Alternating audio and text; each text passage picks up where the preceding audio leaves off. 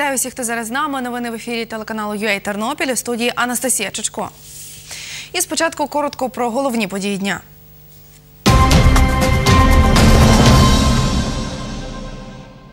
Дізнатися, де шукати передвиборчі програми кандидатів в президенти України і чи є у списку виборців могли тернополяни під час акції Не кипішуй, голосуй, яка відбулася в Тернополі. Нове приміщення обласного архіву сьогодні відкрили у Тернополі. Розпочали будувати його в 1991 році. Гарячі обіди людям з інвалідністю доставлятимуть учасники проекту Про милосердя, який сьогодні стартував у Тернополі. Волонтери продавали шкарпетки, щоб зібрати кошти для дітей з синдромом Дауна. 17-річна дівчина з цим синдромом презентувала свої картини. Так на Тернопільщині відзначили Міжнародний день людей із синдромом Дауна.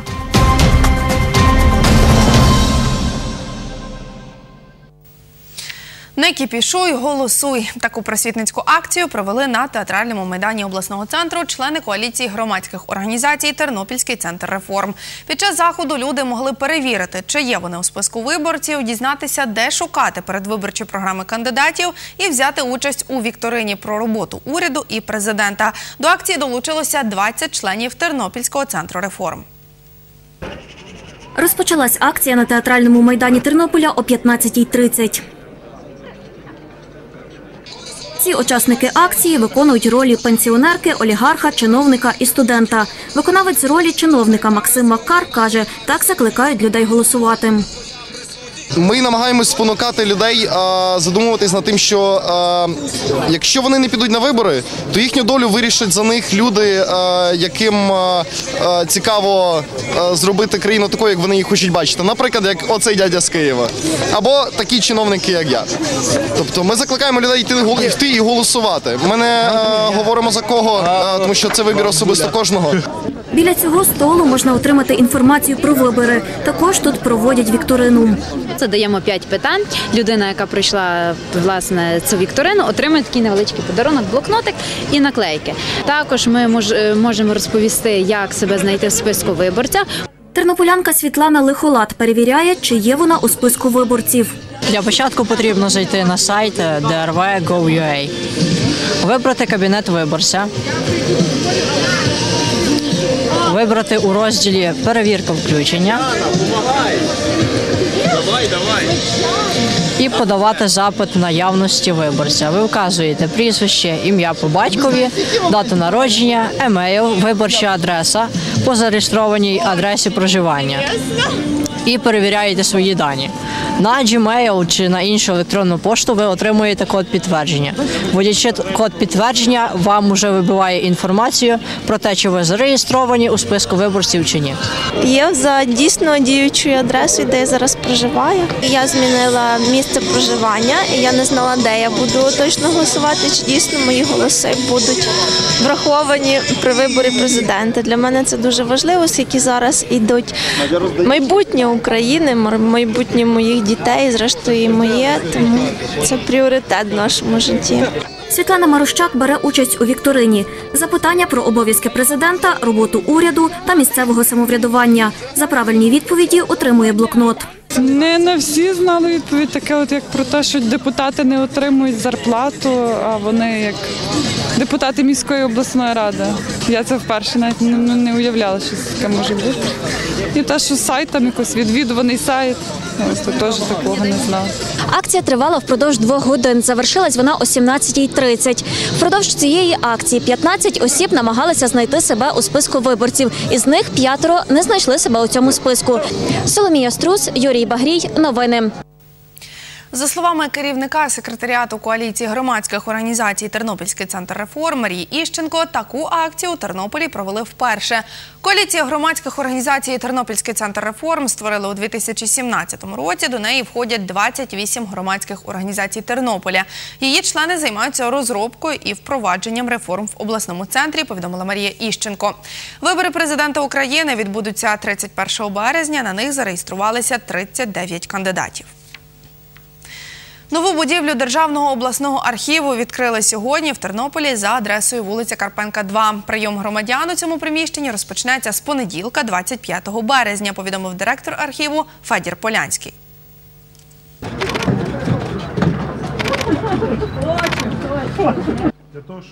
Директор Федір Полянський показує кімнати і розповідає про важливість нової будівлі. В даному приміщенні буде об'єднано весь архів, який до цього е, розташований був в Домініканському монастирі і в правому крилі е, адмінбудинку. Близько 80 тисяч одних зберігання ще зберігається в процесованих різних приміщеннях. Це можна говорити і архівні відділи райдержадміністрації, і багато, скажімо, і обласна адміністрація, обласна рада, і цей список можна структурний підрозділ адміністрації. Ці документи, на жаль, зберігаються, скажімо, в тих маленьких архівних приміщеннях, от, але вони повинні би планомірно з роком в рік передаватися на державне зберігання державних архів. Майже 21 мільйон гривень протягом трьох років виділили на будівництво архіву. Цей архів це спільна робота органів державної влади і державного бюджету, а також обласного бюджету. Внаслідок чого в реалізацію цього проекту було спрямовано, якщо не помиляюся, 21 мільйон 648 тисяч гривень. Архівні матеріали області зберігалися у приміщенні колишнього домініканського монастиря біля архикатедрального собору Пресвятої Богородиці. Архієпископ і митрополит Тернопільсько-Зборівської Української греко-католицької церкви Василь Семенюк розповідає, що буде на місці архіву. Я тим всім дякую, що ми має, нам віддадуть архів, де буде розміщені релігійні установи, може в майбутньому наша католицька школа. Діана Ярошенко, Андрій Прокопів. Новини. Державний обласний архів був створений в жовтні 1939 року. Запрацював 1 листопада. Будівництво нового приміщення обласного архіву розпочали в 1991 році. Згодом роботи припинили через відсутність фінансування, а у 2015-му відновили, каже Федір Полянський. У Тернополі стартував проект про милосердя. Його учасники доставляють гарячі обіди людям з інвалідністю. Сьогодні приготували перші п'ять порцій і розвезли їх. Організатори проекту Тернопільський благодійний фонд Карітас, волонтерський лідерський рух і громадське об'єднання Файне ЮЕЙ. Більше про це у сюжеті Тараса Бурака.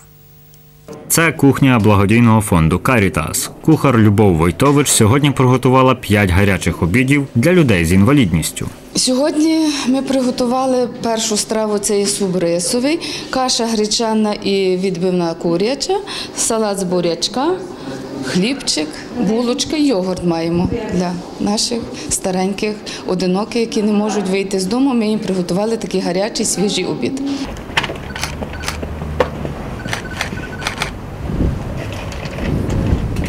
Зараз ми їдемо до кого?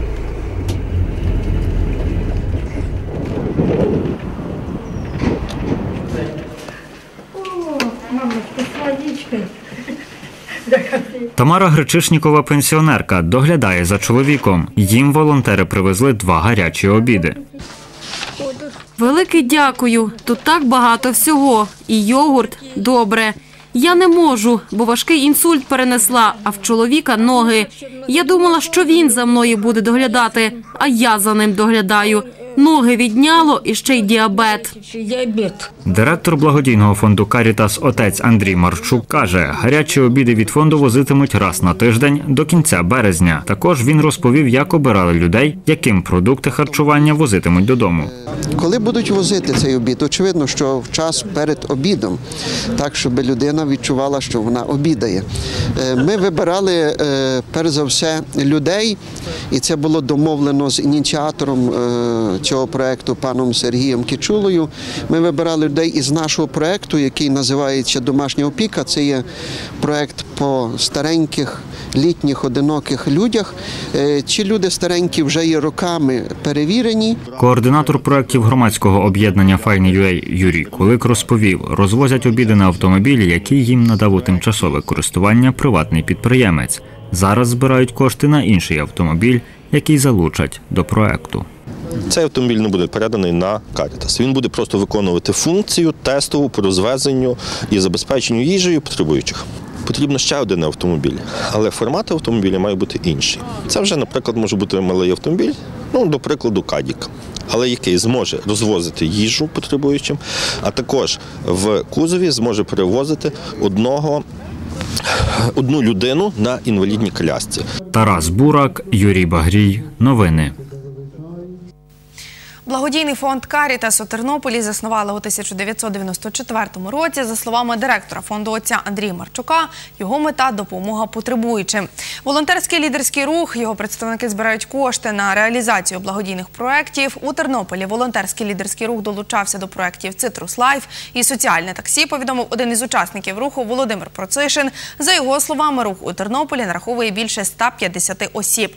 І громадське об'єднання Файне ЮЕ діє у Тернополі понад рік. Об'єднання займається розвитком міста, населення і реалізацією благодійних проєктів, для яких в організації створили відповідний фонд, повідомив Юрій Кулик. Понад 600 пар шкарпеток продали працівники громадської організації Центр Бебіко під час акції в соціальних мережах Кольорові шкарпетки, щоб підтримати людей із синдромом Дауна. Пара шкарпеток коштувала 21 гривню. За словами організатора акції Ольги Гордієнко, зібрали 12 тисяч 991 гривню. Ці кошти віддадуть, щоб частково оплатити відпочинок дітей із синдромом Дауна, на який вони поїдуть влітку у село Буяни Чернівецької області. Всі охочі можуть долучитися до флешмобу. Для цього потрібно надягнути різні шкарпетки. Ті, хто долучається до акції у цей день, мають зробити фото з хештегом Lots of Socks і викласти у соцмережах. Повідомила організатор акції Ольга Гордієнко. Від рання в нас стартувала акція Кольорові шкарпетки. Це в місті люди, ті, хто знають про цей день, одягають кольорові шкарпетки, долучаються до наших заходів і підтримують, зокрема, людей сонячних. Вже масово від рання отак одягають, отак сонячно складають. От е, саме саме цікаве, що не обов'язково, щоб це шкарпетки були брендовані наші. Це можуть бути любі різнокольорові шкарпетки.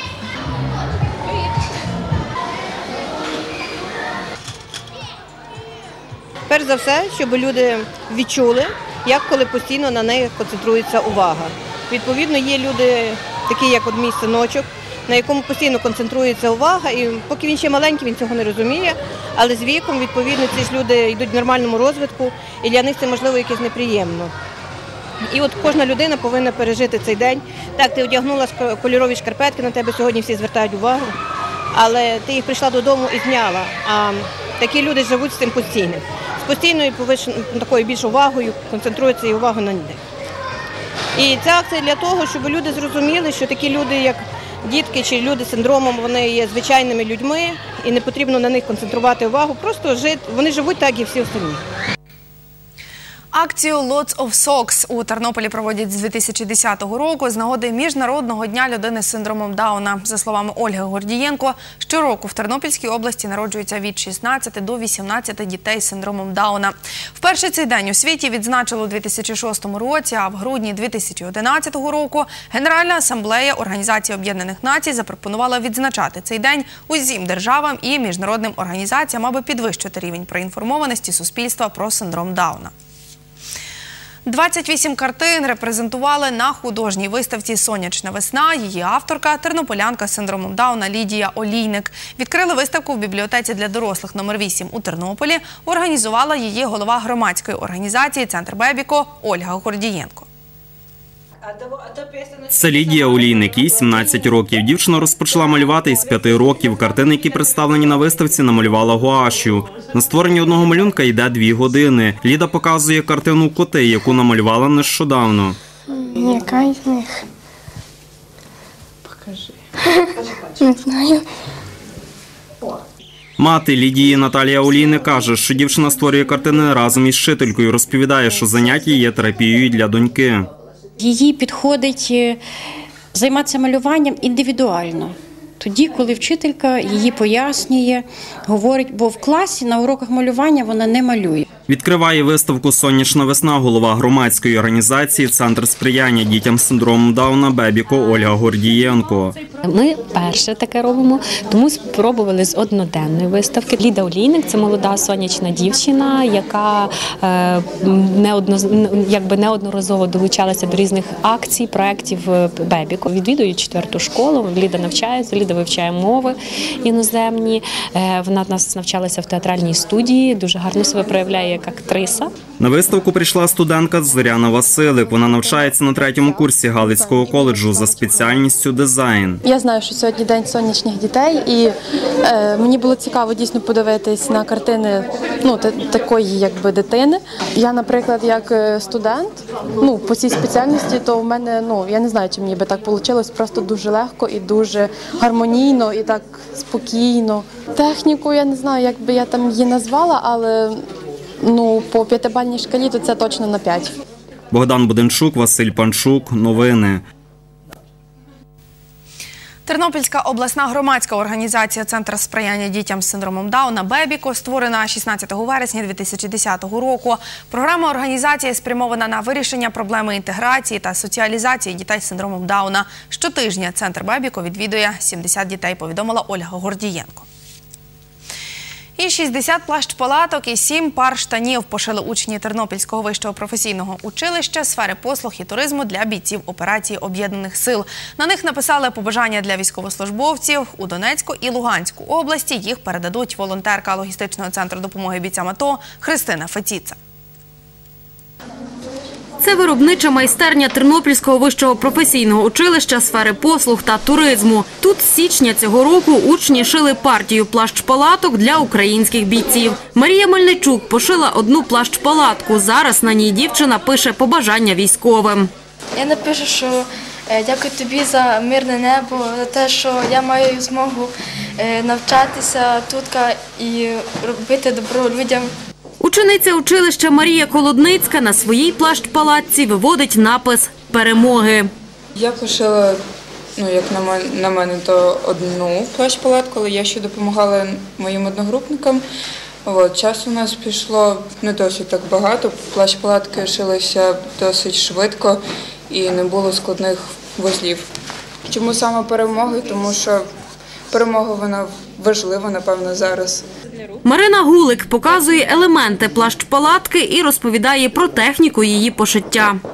Ми спочатку, коли отримали крій, ми спочатку обробляли прорізи для рук, потім ми виготовляли застіпку, виготовляли капюшон, потім ми зшивали бічні, виготовляли петлі і пришивали гуцики, ну і низ. Для виконання однієї палатки потрібно десь 3-4 дні. Волонтерка Христина Феціца одягає плащ-палатку на учня училища Дмитра Мариновського. Він може тут і автомат тримати, і якщо треба, то руку сховати серединку. Волонтерка вручає учням та викладачам училища подяки від логістичного центру допомоги бійцям АТО та від громадської організації Спілка бійців та волонтерів АТО.